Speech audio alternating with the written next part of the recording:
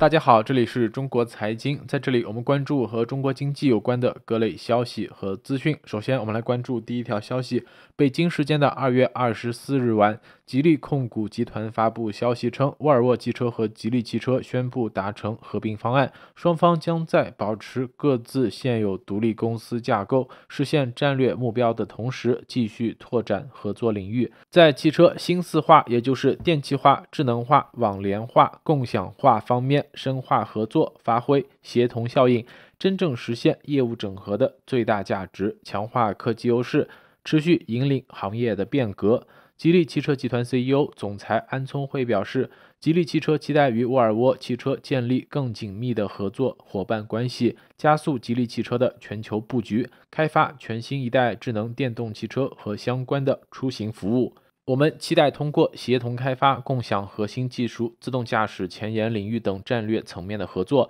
为用户创造极致的体验。沃尔沃汽车集团总裁 CEO 汉肯·塞米尔森表示：“很高兴能够与吉利汽车进一步深入合作，在广泛评估、详细研究各种方案之后，我们达成共识。现在的合并和合作方案是加强合作、保障持续增长。”并在动力总成等多领域实现最大协同效应的最佳途径。吉利控股集团董事长李书福对合并方案及合作共识表示支持，称此次的吉利汽车与沃尔沃汽车进一步整合业务，建立更紧密的战略协同关系，能达到最佳合并效果。这将在瞬息万变的汽车技术和出行服务领域打造两家更强大的公司，开创全新发展格局，持续引领行业发展。我们来到下一条消息，在北京时间二月二十三日，一名自称中国人寿嫩江支公司的员工张某实名举报公司大量造假。这位工作了十六年的员工举报该公司总经理孙小刚为了完成公司的保费任务，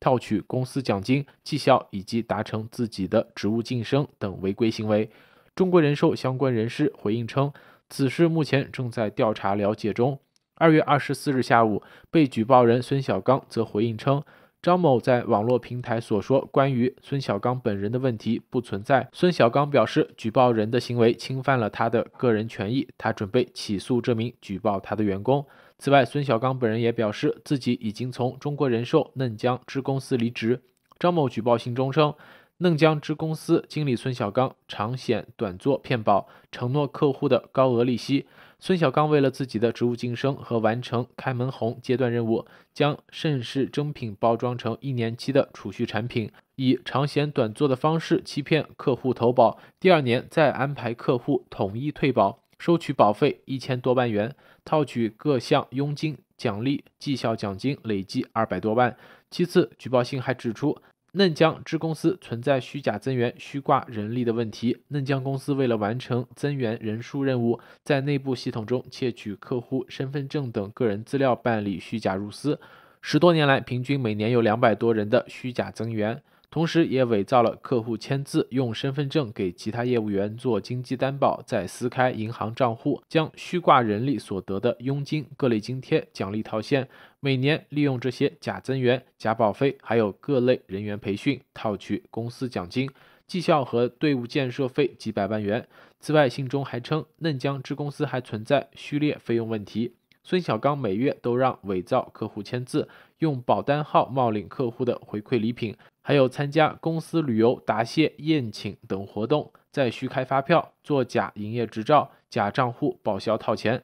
并指出这些套出来的钱都已经打入了领导提供的账户里，被他们揣进了自己的腰包。根据中新经纬媒体的报道，中国人寿相关人士回应称，对此事目前正在调查了解中。记者联系到孙小刚本人求证，孙小刚则称，张某在网络平台所说关于他本人的问题不存在。银保监会的官网显示，二零一九年十二月，中国人寿嫩江支公司因虚列费用被黑河银保监分局连开四张罚单，被罚款十万元。孙小刚也被罚款十万。我们来到下一条消息，北京时间的二月二十四日，中国商务部部长王文涛表示，今年外贸形势严峻复杂，疫情仍在起伏，形势不明朗，供应链、产业链影响稳定的因素仍在发展，将保持政策稳定性和持续性。面对新情况，及时调整政策，坚决稳住外贸盘。他是在国新办发布会上做出了上述的表述。二零二零年的中国外贸冲破了疫情阴霾，表现抢眼，但严峻复杂依然是二零二一年面临的关键词。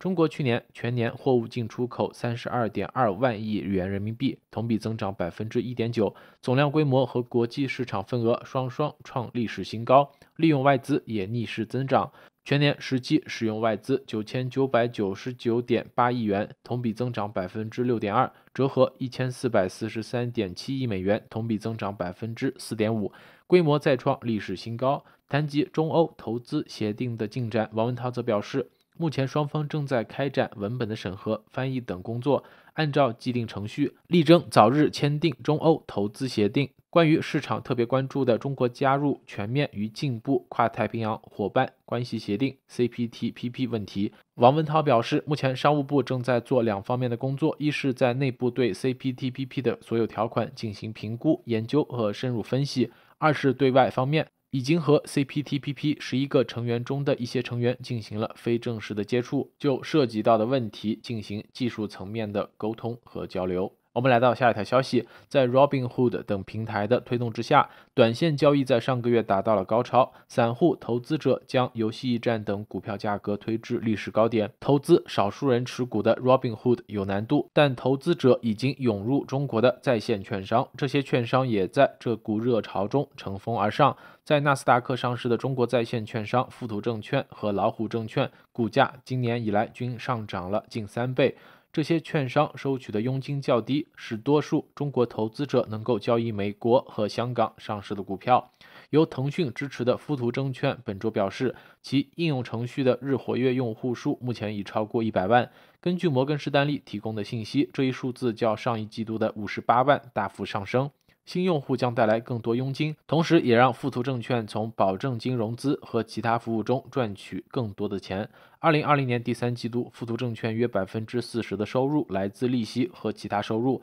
得益于居家交易者大增、创纪录的牛市和大量的首次公开募股交易。富途证券和老虎证券在二零二零年已经有了强劲表现。二零二零年前九个月，富途证券的营运利润增长了四倍。由智能手机制造商小米集团支持的老虎证券也实现了盈利。今年的情况可能会更好。根据花旗的数据，一月份香港市场的日均成交额较上年同期增长了一倍以上，美国市场的日均成交额则增长了百分之六十二。香港市场周一的成交额达到了创纪录的三百九十一点六亿美元，而且未来可能还会有更多的客户加入。中国外汇监管机构的一位官员上周对当地媒体说：“中国正在考虑允许境内个人在年度五万美元便利化额度内开展境外证券和保险等投资。然而，这些券商股已经和大盘一样存在泡沫。”据标普全球市场材质称。按今年的预期，富途证券的市盈率为八十六倍，而老虎证券的市盈率为一百一十三倍。只要市场依然活跃，这些券商仍可能走高；但若发生逆转，则可能是迅速而惨烈的结果。我们来到下一条消息。同样获得高通、摩根大通、中金三大金融机构保荐，携程回港二次上市似乎看起来是胜券在握。在北京时间二月二十四日，携程也对二次上市这个消息进行了回复，表示不予置评。根据信息显示，携程是在二零零三年十二月十日于美国的纳斯达克完成上市，截止到目前的公司市值约为二百四十二点六亿美元。二零一七年股价最高达到了五十三美元，峰值之后便开始下跌，之后长期徘徊在三十美元附近。在历时十七年漂泊之旅之后，线上旅游业务业的头把交易选择赴港再次上市，这个消息难免会引起外界的广泛关注。其实，携程回港二次上市一年前就出现了端倪。据悉，在二零一九年底，相关媒体就报道，包括孙杰在内的携程高管人员在香港会面了不少投行，并计划启动第二次上市。但受到疫情的影响，这个计划被迫搁置。现在虽然推迟了一年多，但再次上市的计划还是在有序进行。路透社旗下媒体报道中也指出，携程本次上市募资金额将达到十亿到二十亿美元。投资顾问给出分析指出，由于二零二零年瑞幸财务造假引起了美国资本市场对中概股的信任危机，同时还加强了中概股方面的监管，因此选择国际化的。港交所再次上市就是成为非常不错的选择。携程也是如此。官方的资料显示，携程成立于1999年，主要的业务就是旅游。它为九千万会员提供酒店、机票、度假等预订服务。携程在全国包北京、深圳、三亚等十七个城市都设立有分公司，旗下员工超过2.5万人。在一系列收购和并购之中，携程还整合了不少传统旅游行业和高科技产业。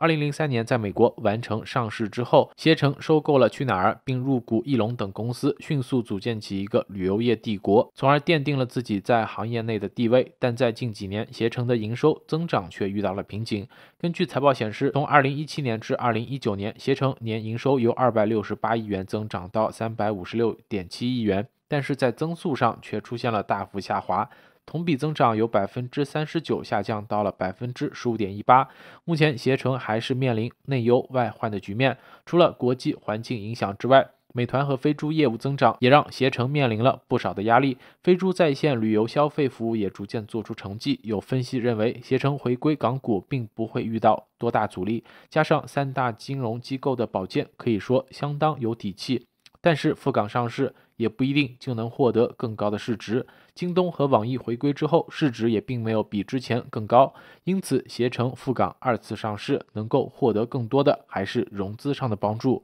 感谢收看，请点赞并订阅中国财经频道。大家好，现在是台北时间二月二十四号，这里是华尔街财经频道的华尔街财经节目。拜登提名的新任贸易代表戴奇将在二十五号出席参议院听证会。曾经在美国贸易代表署跟戴奇共事的美国国际贸易法院法官瑞夫形容戴奇就像是铁石一般的强硬，但是却又如外交官般的善于谈判。而他这样的形象跟态度，可能不是中国所乐见的。香港经济日报报道，作为拜登对华政策团队的核心之一，美国贸易代表人选戴奇预计延续对中国的强硬立场。彭博引述知情人士报道，戴奇上个月在一个私人会议上面，曾经告诉美国商界的高管，为了取消关税开展游说是没有用的，相反的，企业要做好跟关税相伴的准备。戴奇强硬对中国的知名案例，就是2007年到2014年之间，戴奇在美国贸易代表办公室工作的期间，在世贸就中国的贸易行为成功提起几起诉讼。根据 BBC 报道，一个著名的例子是2012年，美国就中国限制稀土出口的问题向世贸提出诉讼，指其违背了世贸规则跟中国加入世贸时的承诺。2014年，世贸组织认定中国违规。除此之外，戴奇过去在代表民主党人跟川普政府在协商美墨加协定方面发挥了重要的作用，也满足了民主党的要求，包括了拥有更强而有力的保护劳工跟环境的条款。还有消息人士透露，戴奇曾经软硬兼施，说服川普政府停止对汽车加征关税。种种的时机成为了他有资格担任拜登政府贸易代表的最好佐证。现在中美商界只可以做好准备，来迎接强硬的新任贸易代表上台。美国总统拜登最快将在本月底签署行政命令，在半导体跟电池等重要零件的供应链上。跟台湾、日本以及韩国等亚洲盟友来合作，借此摆脱对中国供应链的依赖。根据日经中文网获得的行政命令草案，除了半导体之外，还将建立以纯电动汽车电池、稀土跟医疗产品为中心的供应链。草案的内容指出，跟同盟国合作将会有助于建立强韧的供应网络。草案也要求行政团队建立不会因为对中国制裁或者是灾害等紧急的状况影响的体制。报道指出，在半导体领域，美国预计将跟台湾、日本跟韩国展开合作。而在稀土领域，美国将与澳洲等亚洲各国跟地区来合作。根据行政命令指出，同盟国将共享重要的产品供应链的相关资讯，在生产制造上面彼此协助，还希望可以建立非常时期相互融通的机制，并且协商剩余能力储备品的确保。此外，也可能要求同盟国尽量减少跟中国交易。美国认为，如果持续依赖中国的供应链，中国就有可能会透过贸易的限制来对各国施加压力。像是之前中国跟日本在钓鱼岛问题上面发生冲突的时候，中国就曾经限制向日本来出口稀土。而美国的稀土大约有百分之八十从中国进口，医疗用品也有高达九成依赖中国进口。目前，美国百分之八十五稀土以及百分之九十的医疗用品都是由中国来进口。由于二零二零年年初全球出现的半导体供应不足的问题，也对美国的汽车产业造成了影响。供应链的重构成为了当前最重要的课题之一。根据波士顿咨询集团的数据显示，以工厂立地作为区分的话，二零二零年半导体生产能力占比，美国是百分之十二，台湾百分之二十二，占了全球之冠。不过，中国的半导体生产能力到二零三零年有可能会达到世界最大的百分之二十四。不过，全球只有数家顶尖的半导体生产商，他们拥有庞大讨价还价的空间。美国在半导体产业方面需要一段时间才可以改变产业的生态。中国政府全力投入发展国防军工。香港经济日报报道，中国国务院国有资产监督管理委员会表示，要央企发挥带头的作用，大力的加强科技创新跟国企的改革，并且宣布今年国资在重组跟整合上将从四个方面来发力，包括了加大国防军工的投入。而相关的消息也带动了 A 股军工板块再度拉升。根据报道，中国国资委秘书长、新闻发言人彭华刚二十三号在记者会上指出了四大路径。第一个是推动国有资本向关系国家安全跟国民经济命脉的重要行业领域来集中，加大对国防军工、能源资源、粮食供应、骨干网络、新型基础设施等领域的投入。第二是补齐产业链供应链的短板。提供供应链保障能力跟产业体系抗冲击的能力。第三，推动创新资源的整合协同，加快突破一批行业共性技术跟关键核心技术。第四是切实解决部分央企之间的产品相似、资源分散、重复建设等问题，来形成资源的合力。受到国资委表态加大对军工领域投入消息的影响，今天 A 股国防军工板块再度的拉升。截至中午收市为止，中非股份大升的百分之六点五七，神剑股份报五点二三，升百分之十点一一。尽管美中关系去年急剧的恶化，国会跟行政当局采取了一系列措施来限制中国在美国的股市交易，但是最新资料显示，中资企业在美国证券市场的融资规模仍然创下了多年来的新高。美国之音报道，佛罗里达大学的一项研究显示，去年中国公司在美股 IPO 公开募股是十年多来最多的一年，有三十二家中资公司总共筹得了一百二十亿美元，是前一年的四倍之多。二零一九年首次到美国上市的公司只有筹到了三十亿美元，今年到上礼拜为止，又有九家中国企业到美国市场首次公开上市，融资超过了二十亿美元。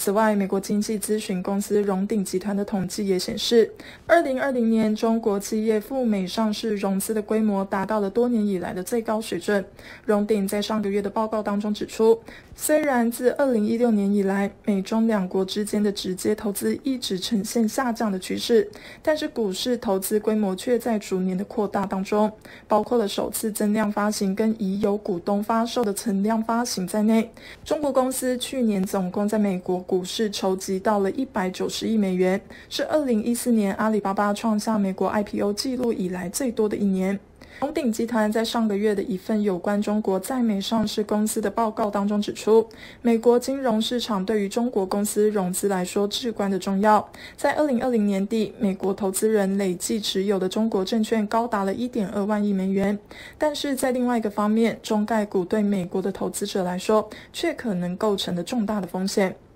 美国证券交易委员会 （SEC） 在官网上面针对中概股警告说，该委员会要求中国境内发行人履行高品质的披露标准的能力有限，中国公司的披露很有可能并不完全或者是具有误导性，投资人在这一方面面临到了巨大的风险。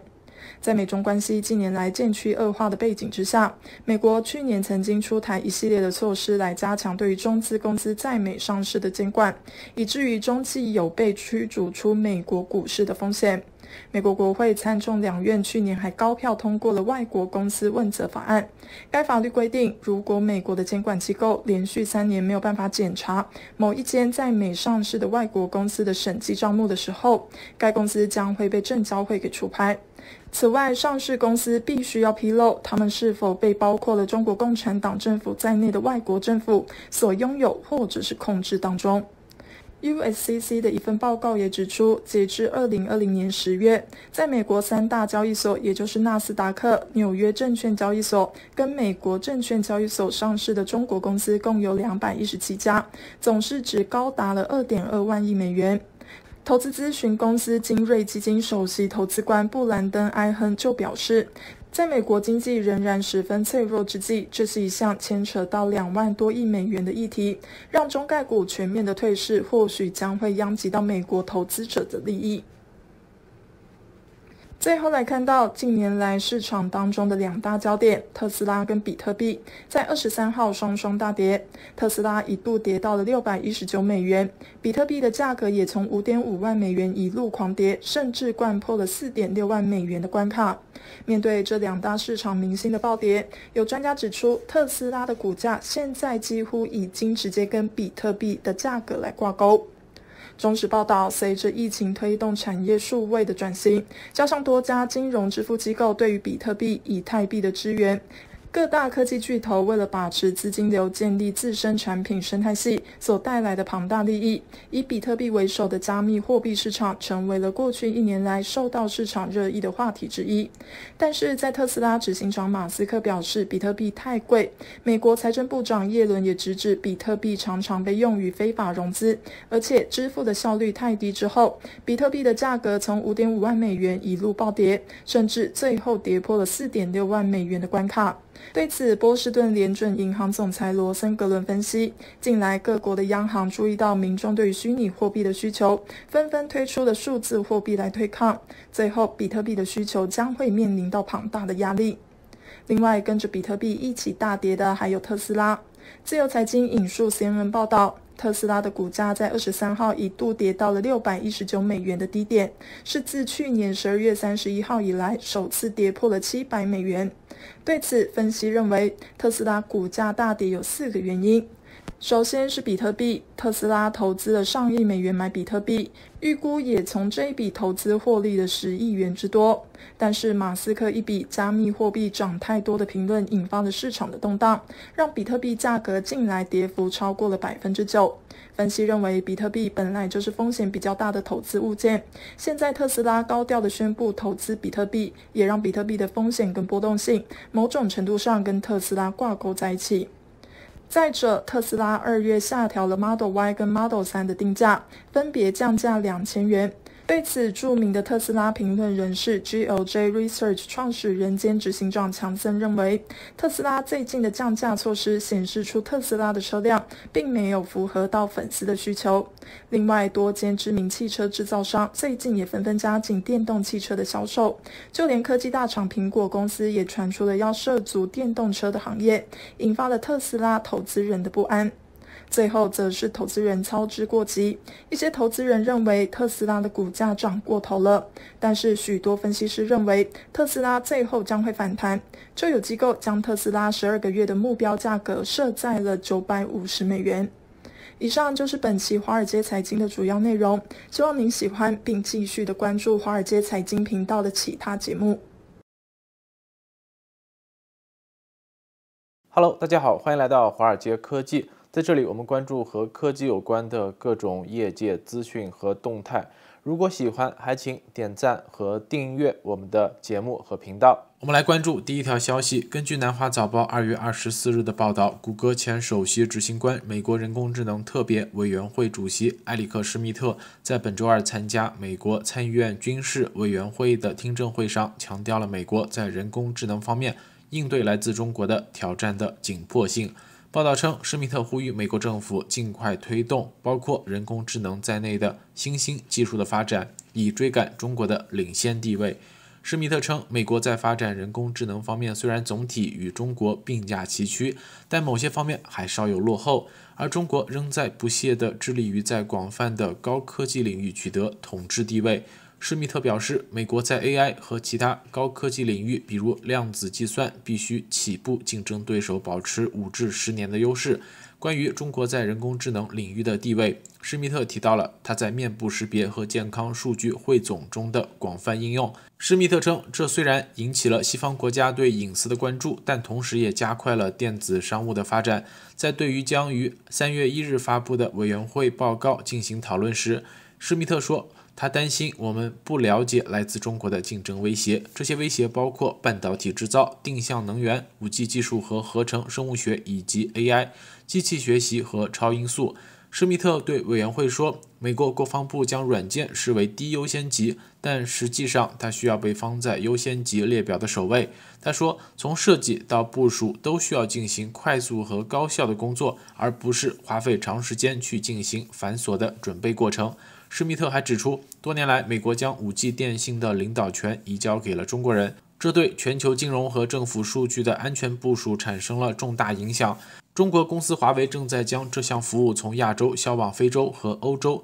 华为也被认为是 5G 部署的全球领导者。其实，这并不是施密特第一次提到中国在人工智能领域的发展。去年十月份，施密特就曾发出警告，美国必须不惜一切代价在人工智能领域上击败中国。我们来到下一条消息：世界需要猴子来开发新冠疫苗，因为它们的 DNA 与人类非常相似。但是由于大流行引起的意外需求，导致全球供应的短缺，又因为中国最近出售野生动物的禁令而加剧。中国是这种实验室动物的主要供应者，最近的供应短缺再次引发了关于在美国建立战略性猴子储备的讨论。这类似于政府保持的石油和谷物储备。由于新冠病毒的新变种有可能使目前的疫苗无效，科学家争相寻找新的猴子来源。美国也在重新评估对中国这个一个拥有自己生物技术雄心的竞争对手的依赖。这场大流行凸显出中国在相当程度上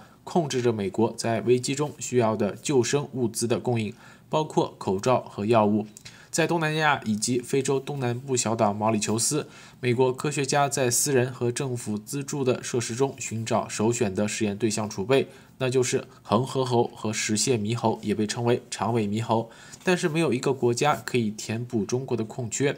分析人士根据美国疾病控制与预防中心的数据估算，在大流行之前，2019年美国进口的3万3818只以石蟹猕猴为主的灵长类动物中，百分之六十以上来自中国。美国的七个灵长类动物中心拥有多达二点五万只实验猴，其中主要是粉脸的恒河猴，其中约六百至八百只猴子在大流行开始之后被用在新冠病毒研究。科学家说，猴子是研究新冠病毒疫苗的理想标本。灵长类的动物和我们的 DNA 有着百分之九十以上的相似之处。它们的相似生物学特性意味着可以用鼻试纸进行测试，并进行肺部扫描。科学家说，几乎不可能用其他动物来测试新冠疫苗。尽管地塞米松用于治疗前总统川普类似的类固醇等药物使用了仓鼠做实验。美国曾经依靠印度来供应恒河猴，但是在1978年，在印度媒体报道说猴子在美国被用于军事实验之后，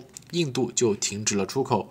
制药公司在寻找替代方案，最终他们找到了中国。而这一场大流行也颠覆了美国科学家与中国供应商之间长达数十年的关系。多年来，由于动物权利活动人士的反对，包括美国主要航空公司在内的几家航司也拒绝运输用于医学研究的动物。研究人员经常从一只猴子身上收集数百份标本，这些组织可以冷冻数年，并进行长期研究。科学家们表示，他们会充分利用每只动物，但感染新冠的猴子不能回到其他健康动物之间继续生活，最终必须被实施安乐死。美国有七个国家灵长类动物研究中心，这些动物在不接受研究的时候都过着可接触户外、内容丰富的群居生活。这些设施隶属于研究型大学，由国家卫生研究院资助。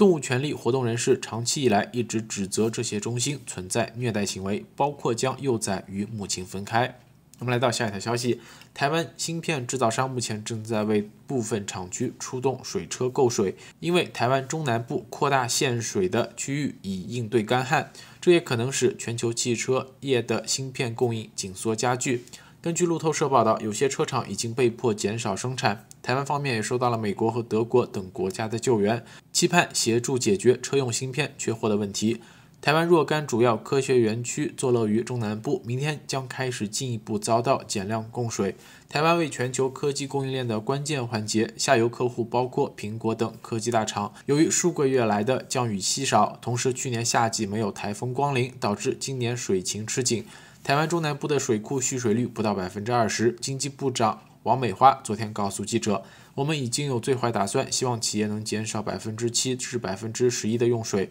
全球最大芯片制造商台积电从本周开始，也在北中南部分厂区出动水车少量购水。台积电告诉路透社，他们正在为未来的用水需求做准备，并称此举是一次压力测试。台积电表示，并未发现生产作业受到影响。我们来到下一条消息。根据 CNN 报道，美国五角大楼的科学家们成功在太空中测试了一块披萨盒大小的太阳能电池板。该电池板被设计为未来系统的原型，可以将太空中产生的电力发送回地球上的任何一个地方。该电池板被称为光伏射频天线模块 （PRAM）。于二零二零年五月首次发射，附在五角大楼的 X 三七 B 无人机上，利用来自太阳的光转化为电能。无人机每九十分钟在地球上空盘旋一次。这种电池板的设计也是为了充分利用太空中的光线，因为太空光线不会穿过大气层，所以它保留了蓝波的能量，使其比到达地球的阳光更有能量。蓝光进入大气层时会发生色散，这就是为什么天空看起来是蓝色的。在华盛顿特区的美国海军研究实验室进行测试时，这个。光伏射频天线模块被放置在热真空室中。该项目的联合开发者保罗·贾菲在接受采访时表示，最新的实验表明，这种12乘12英寸的面板能够产生约10瓦的能量用于传输，这足以带动一台平板电脑。但研究人员设想扩大电池板的阵列规模。如果成功，它可能会彻底改变电力的生产方式，以及向全球偏远角落输送电力的方式。它甚至可以为地球上最大的电网提供动力支撑。保罗·贾菲还说，设想的太空太阳能发电能力与目前最大的发电厂相当，甚至超过了他们的发电能力数万亿瓦。这足够一个城市使用。光伏射频天线模块 （PRAM） 搭乘的 X-37B 是美国最神秘的航天飞机，它执行的任务鲜为外界所知。PRAM 是其所披露的少数细节之一。今年一月，PRAM 联合负责人在 IEEE 微波杂志上发布了他们的第一批实验结果。他们称实验正在进行中。我们来到下一条消息：电动车企业和传统车企之间的嘴仗还在继续。根据彭博社报道，宝马 CEO 奥利弗·齐普斯在出席 DLD 全明星大会时，公开对特斯拉提出了质疑。他表示，随着传统汽车制造商推出一系列全新的电动车型。特斯拉多年来在电动汽车销售中的主导地位可能很快就会结束，而事实上，特斯拉在欧洲的增长速度已经从2018年的百分之一百三十八下降到了2020年的百分之三十六。不过，特斯拉在去年全年交付了近五十万辆汽车。特斯拉想要继续保持这样的速度并不容易，因为整个行业都在大进步。齐普斯表示。就目前来看，宝马在新能源市场上的销量仍主要依靠宝马五系、新能源等插电式混动车型。在电动车领域，无论是上市多年的宝马 i3，还是近期推出的宝马 iX3，销量成绩都不容乐观。不过，宝马计划为 X1 五系和七系的宝马汽车增加电池驱动版本，并将推出一款新的旗舰车型 iX。根据计划，宝马正在尝试在2023年将新能源产品线拓展至25款，从而跟上汽车产业电动化的发展节奏。而事实上，随着传统车企逐步打响电气化转型的反击战，叫板特斯拉的声音也越来越多。例如，作为全球最大的汽车集团掌舵者的大众 CEO 迪斯曾表态，大众有信心在软件上击败特斯拉，因为软件就是规模游戏。据悉，大众计划在2021年至少将全电动汽车的销量份额提高一倍，其目标非常明确，即接近特斯拉的预期交付量，也就是至少75万辆。不仅如此，向来低调的丰田总裁丰田章男也在财报电话会议上罕见地抨击了其竞争对手特斯拉，称尽管特斯拉的市值的确相当高，但它并没有做出真正的东西。今年初，福特高管也开始拿特斯拉开涮。针对特斯拉做工品控不佳的问题，福特高管开始了毫不留情的讽刺。好了，今天就是华尔街科技的所有内容。如果喜欢，还请点赞和订阅我们的节目和频道。我们下次再见。